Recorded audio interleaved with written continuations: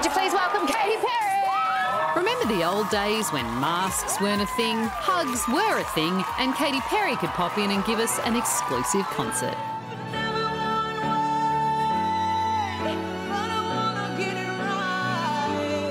Well, Katy, welcome to our show. The last time you were on was March. You fled the country. A week later, the whole world changed. Yeah, it was pretty wild. I remember getting on a flight Friday, the 13th of March. No. That's the last flight I went on. I'm so happy I did. I had such a great time. It was beautiful. Probably be one of the first places I go back to when all is said and done. We're up for that. I've got to say, we actually use you as a measure of time on our show. We talk about pre Katy Perry visit, post Katy Perry visit for the world and our show and how it's different. So I hope you don't mind. You were the last good thing, Katy.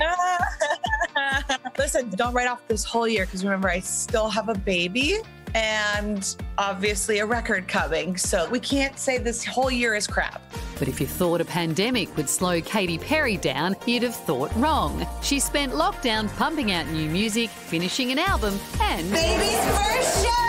growing a tiny human. Look, she literally is giving me a middle finger. We got to see your beautiful body in daisies.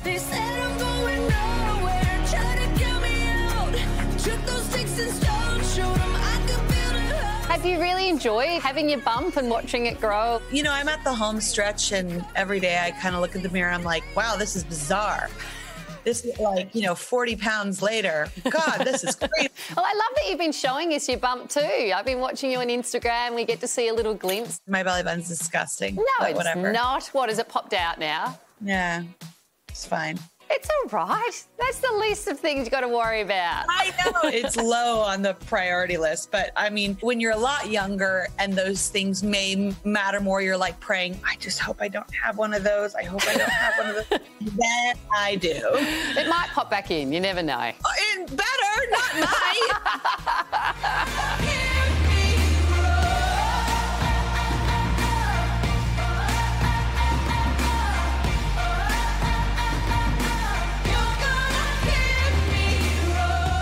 Back in March, Katy announced her pregnancy when she released Never Worn White. A few months on, and she's about ready to pop. You're about to push out a baby and an album. Which one makes you more nervous? Neither. I'm excited for both and and ready and prepared and as much as one possibly can be. I mean, I think there's probably a little bit more physical pain with one than the other. so we'll see. I remember that you said that you helped your sister give birth. Is she going to return the favour? You know, I wish I was as much of a hero as my sister. She did it in her living room. I, I mean, I Nugget, stop it. We're doing interviews. Be professional. Um, you know, I think we're gonna go a little bit more of the uh, the traditional route. I like to have all of my choices. She's just dropped the latest tune from her upcoming album, and it might just be the song the world needs right now. Yeah,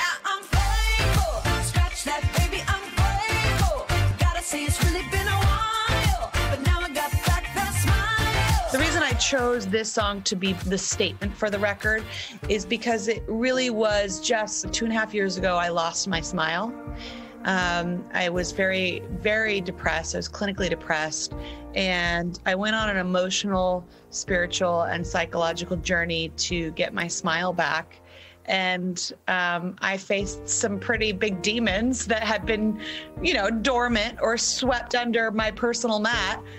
I was like, all right, fine, I'll get in the ring. Let's go.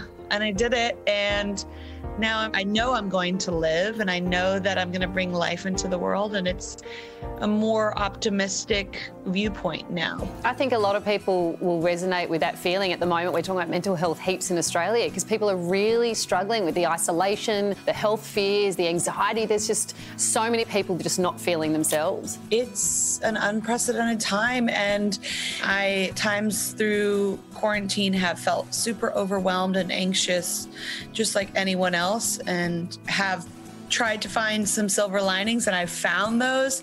But um, yeah, I mean, I also like to say that it's like, or your personal demons just showed up at your door and said, Hey, do you want to hang out for five months? Because you can't run, you can't travel, you can't work, you can't, you know, shop me away. You just have to face me. So it's a lot of reckoning that's happening in the world. We heard Nugget before in the background. I'm so sorry to hear about Orlando's dog dying during the week. How are you guys going? Oh, thank you. It's been a really hard week. For the little buddy boy.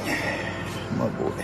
Oh. I still refuse to let my pessimism take over and be a blanket statement for 2020. But by God, this baby better make up for it. He's like our little child, so it's really sad. But there's a lot to look forward to, and there's a lot of healing. Absolutely. You've got your wedding to look forward to at some point, whenever that can happen. I know you had to postpone it. You know as much as I do at this point. I think we're just looking forward to the immediate future because what I found personally is you can only plan, you know, a couple weeks in advance these days. You know, that is the album coming and my firstborn. And then other than that, ask me after August. just ask me anything in September. Well, I wish you all the best with the album, all the best with the baby. There's so much good stuff happening for you right now. We'll be watching from afar in Australia, and yeah, thanks for the joy you bring. Thank you so much. I love you guys on the project. You've always been so kind to me.